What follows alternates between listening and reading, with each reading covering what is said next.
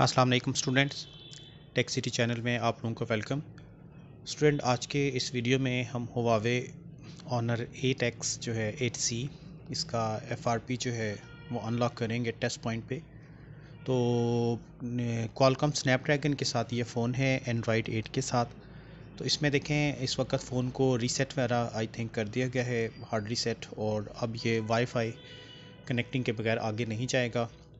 अगर हम इसको वाईफाई के साथ कनेक्ट करवा भी दें तो फिर वही पिछला स्क्रीन लॉक या गूगल अकाउंट इस फ़ोन में हमें एंटर करना पड़ेगा। ठीक है तो ये फ़ोन बाईपास हो जाता है। अगर तो ओल्ड सिक्योरिटी पैच हो न्यू सिक्योरिटी पैच पे आप इसको बाईपास नहीं कर सकते। ठीक है तो आज के इस वीडियो में हम इसका F R P unlock test point पे जो है एक्वा डोगल के ज़रिए देखेंगे कि इसको किस तरीके से गूगल अकाउंट अनलॉक किया जाएगा वन क्लिक पे ओनली तो इसको बैक ओपन करना पड़ेगा। बैक इसकी इजीली ओपन हो जाती है, कोई इतना मुश्किल काम नहीं है। ये देख लें, ये फ़ोन जो है स्क्रीन लॉक या गूगल अकाउंट जो है वो डिमांड कर रहा है। ठीक है स्क्रीन लॉक फॉरगेटेड है और गूगल अकाउंट भी हमें नहीं याद। तो अब हम देखेंगे कि इस फ़ोन को फिर किस तरीके से जो है टेस्ट पॉइंट कौन से इसके बनेंगे और कैसे इसको हैंडल करना पड़ेगा। तो ये देख लें, आगे थोड़ा सा मूव करते हैं तो ये गूगल अकाउंट पे डिमांड करेगा। स्क्रीन लॉक क्योंकि हमें नहीं पता। तो इसकी बैक ओपन करके आपने आराम से बैक ओपन करनी है, क्योंकि फिंगरप्रिंट की स्ट्रिप होती है इसमें। सिम ट्रे पहले इजेक्ट कर लें और उसके बाद जो है इसका बैक ओपन करने की कोशिश करेंगे।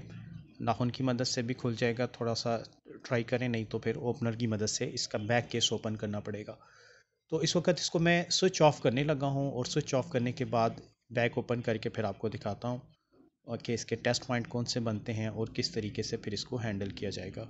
तो पहले तो हम देखें कंप्यूटर का मैनेज में जाकर डिवाइस मैनेजर ओपन कर लेते हैं, ताकि टेस्ट पॉइंट शॉर्ट करके हम चेक कर लें कि हमारा फ़ोन ईडीएल मोड पे आता भी है या नहीं।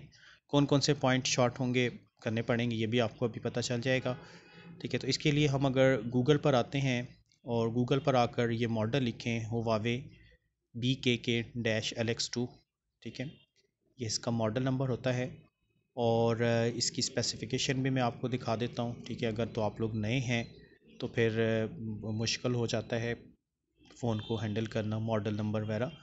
तो ये इस वक्त मॉडल जो है Huawei B K K dash L X two इसका फैक्ट्री नेम है, जबकि वैसे इसका नाम है ऑनर एट सी इसकी स्पेसिफ़िकेशन अगर आप चेक करेंगे तो ये देखें गूगल पे आ जाएगा ऑनर एट सी ये मॉडल है। और इस मॉडल का जो है प्रोसेसर अगर हम चेक करें तो ये देखें, ये इसका मेड सारी डिटेल्स आ रही हैं एंड्रॉयड एट के साथ और इस पर जो प्रोसेसर लगा हुआ है वो क्वालकम स्नैपड्रैगन है, ठीक है? ये आपको यहाँ पे नज़र आ रहा होगा। तो ये हमें पता चल गया। अब इसके टेस्ट पॉइंट देखें, ये जो है गूगल पर हमने इसी मॉडल का टेस्ट पॉइंट लिखा है तो इस पिक्चर को अगर हम ओपन करते हैं तो ये इसके दो टेस्ट पॉइंट बता दी गई, जो चार डॉट्स हैं, दोनों कॉर्नर वाले डॉट्स को आपने ट्वीज़र से शॉर्ट करना है और उसके बाद डाटा केबल के साथ इसको कनेक्ट करना है। तो देख लें, इसकी बैक जो है ओपन कर दी है मैंने और अब ये दोनों डॉट्स जो कॉर्नर वाले हैं, ये आपको ये देख लें, यहाँ पे चार डॉट्स नज़र आ रहे होंगे। तो दोनों कॉर्नर वाले डॉट्स को ट्वीज़र से हम शॉर्ट करेंगे।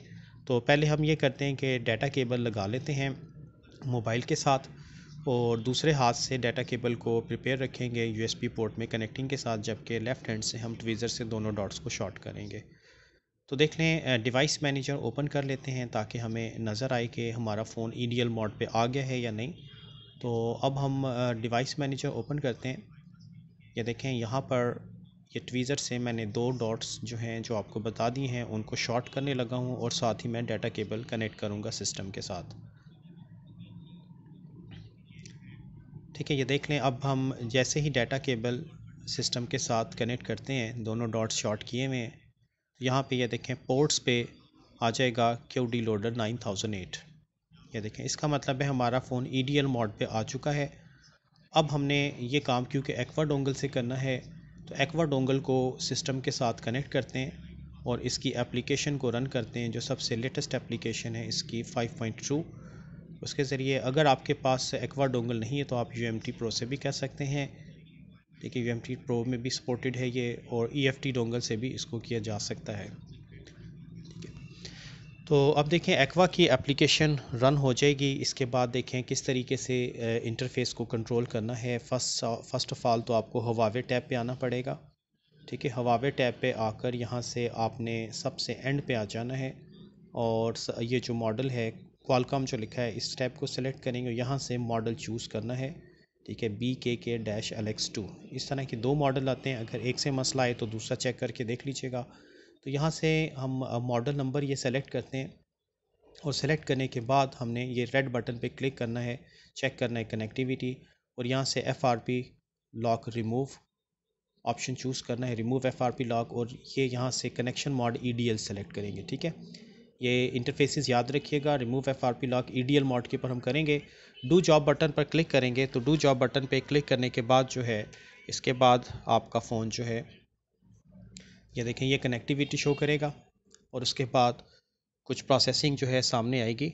उस प्रोसेसिंग को हमने कंट्रोल करना है। ये देख लें, थोड़ी देर वेट करते हैं हम। तो ये सारा प्रोग्रेस आपको स्क्रीन पे नज़र आ रहा होगा। ठीक है, ये देखें सारी इसकी डिटेल्स मॉडल नंबर और ये removing F R P lock और ये आल डन लिखा हुआ गया। अब हम फ़ोन को जो है बैटरी के साथ कनेक्ट करते हैं क्योंकि ये याद रखना आपने कि ये ऑपरेशन आपने बैटरी डिसकनेक्ट करके करना है, ठीक है? बैटरी कनेक्टेड नहीं रहनी चाहिए, वरना प्रॉब्लम फेस करना पड़ेगा। तो मैंने इसकी बैटरी पहले डिसकनेक्ट की हुई थी। अब मैं वापस डाटा केबल निकाल के इसकी बैटरी की स्ट्रिप को कनेक्ट करता हूँ और कनेक्ट करके अब हम इसको ऑन करके देखते हैं कि इसका गूगल अकाउंट ख़त्म हो गया है या नहीं। तो ये देख लें, यहाँ तक जो है फ़ोन ऑन हो जाएगा। अब, आगे जो है गूगल अकाउंट रिमूव हुआ या नहीं, ये आपको नज़र आ जाएगा अभी।